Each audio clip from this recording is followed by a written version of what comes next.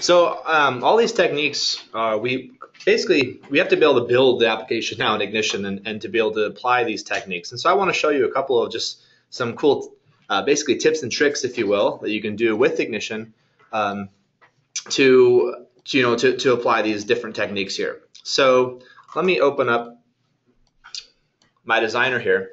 And I actually have this window that um, the, the fixed HMI that uh, Stephen just talked about here, I actually have it completed in Ignition. So we're actually going to uh, make this available so people can download this dot .project file and play around with it some more. Um, and so we're, we're going to come back and talk a little bit more about all the, the techniques you know that we're using here. But um, if I look at you know as the fixed window and of course the navigation window here that that we've, that we've developed. Now to, to do what um, what he was talking about here, one of the first techniques that I want to show you in Ignition is is being able to uh, use a grid we talked. He talked about a 12 column format, and you know, it's really be able to apply that. You want to be able to line things up correctly and kind of know where things are. And so, in inside of Ignition, when you're developing screens, you can actually turn on a grid. So if you go up here to View, I can show the grid, and I can uh, specify the grid size if I want to be smaller or larger. So here I have a grid size of 10, um, which allows me to I, more or less you can use those as columns, but um, you know you can kind of see things according to the grid, and we can snap to the grid. So when I have components on the window, um, you know, it, it's very easy for me to snap them to kind of see uh, where where they are, and I can work with it more. So that's one technique that is really important. Another is being able to align things. Um, it's very easy, you know, when you drag a bunch of stuff onto a screen. So here I have a bunch of LEDs. Uh, they could be all different sizes. You know, you're not really paying much attention to, um, you know, to the, the the the order of all of this. But you know, you want to be able to, to use the drag and drop piece of ignition, right? So you can drag tags. So for here, I could take a ramp valley, drag it on here as an LED display or different components. And then later on, I want to go and align these, these things. So we can actually select multiple components on a window. And up here in the top, there are quite a few different alignment tools. Um, these two right here are really the most important. Uh, this allows you to align two or more components in a row or in a, in a stack. And so let's say I want to do it in a stack here. So I actually align a stack and I can select the normalize. And normalize, what it's going to allow us to do is actually keep everything being the, the, the same consistent size. I can then specify the padding between. So I'm going to do it a stack. It'll be from top to bottom, so it'll be vertical. I'll put a 5 pixel padding between it. Now I have all my LEDs lined up perfectly with a 5 pixel padding, and we normalized all of the sizes. So it really allows us to come back later, uh, to you know to to align them, and then potentially you can right click and you can group them together. So now you have a group that you can move around, and again, working with the grid, you know where things are on the screen. Another, as far as align, another technique that's really well, that's really important. Let's say you have two different, complete, completely different components. Uh, so say I have, you know, my uh, tank here, and I have a button, and I want to essentially align these things either to the top or to the bottom um, they're not the same size, but I want to be able to align them. I, I want this to be perfectly centered of this tank, uh, but I don't know where that center is. What you can do is actually select both these components, and up here you can actually align the left edge, the right edge, the top edge. If I go top or bottom, um, I can do that, or I can go center, which will align them perfectly center, and then I can move them around together on the screen. So these alignment tools are really powerful here that we that we that you have in Ignition.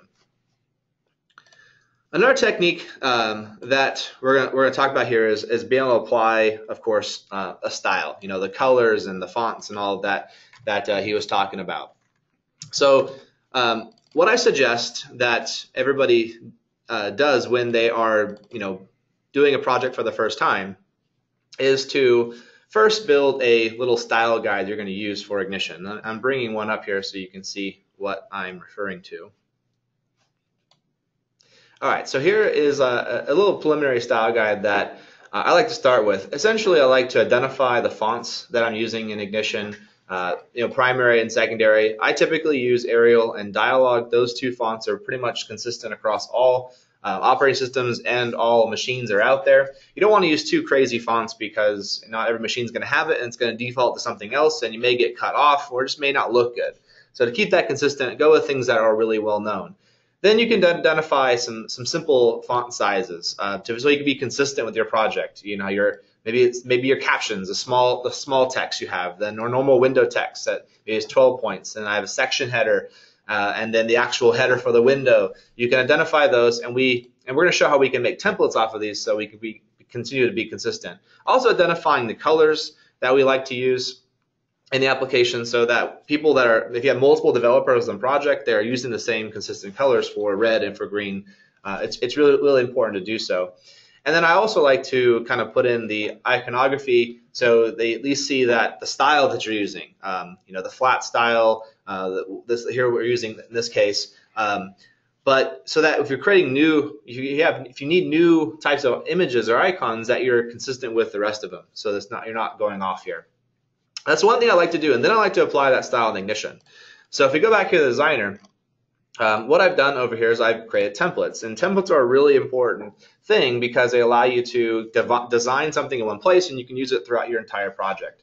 So you'll see here that I made one called caption text, and uh, this basically has built into it the font and the size and the color uh, that is ready to go. So if I, I put this on any window I want. So here is my caption. I just put the value to, to the text I want, put on the window. And if I need to later go and change the font or change the style, something about that, I can go into go and do it in one place. And so I've done that for the caption, for the regular window text, uh, for you know, and you can of course make, we can make these things bigger. Um, and the section header text as well as of course the overall header for the window. Um, so I, that's one thing I like to do is use templates a lot. The same thing goes for we look at the, the HMI that that uh, we're looking here when it comes to the fans uh, or the pumps or the tanks or the valves or even the labels here that have the style on them. These should all be created in one place, and uh, and that's what we've done here. So if, you, if I look, I'll see that I have, you know, the valve and I've made it, the styles in there, the colors are appropriate. So of course now I can go and find a tag. Let's say I want to look at writable integer 2 and we've made the drag and drop with existing templates very easy. So you can drag this writable integer 2 and I can select the valve template and you can see that it's showing the open and it's showing the closed uh, based on the values that we have there. So that way, again, I can go into one place and, and design it.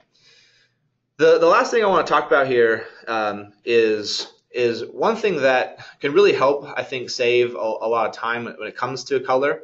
You know, it, we talked about you know that little style guide where we, where we specify all the colors we want to use, but now when it comes to actually designing, you may have all these different windows and different places you want to use these colors, and if you go and separately develop them everywhere, if you want to change that color tomorrow, you've got to go to every window, every component, search replace, and it, could be a little bit difficult.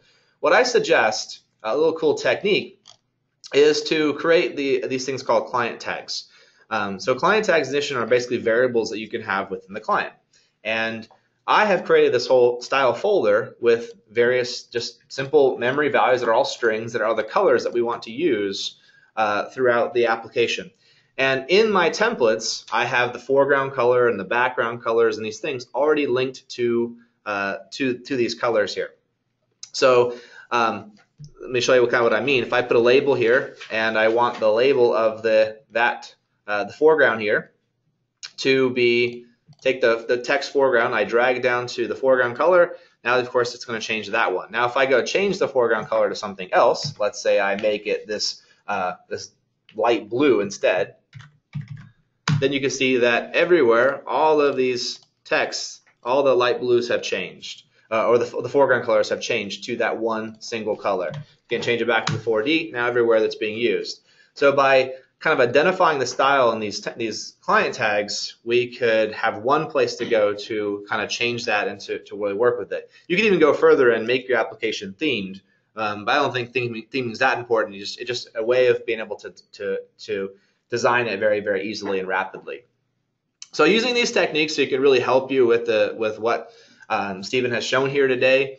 You know, when it comes down to it, it's it's about it's about when you have lots of developers just being consistent, use, doing the same things, uh, being aware of, of, what you're building, and not trying to duplicate effort. Uh, so the much you can, the more you can put into one place, the better you're going to be off in your application.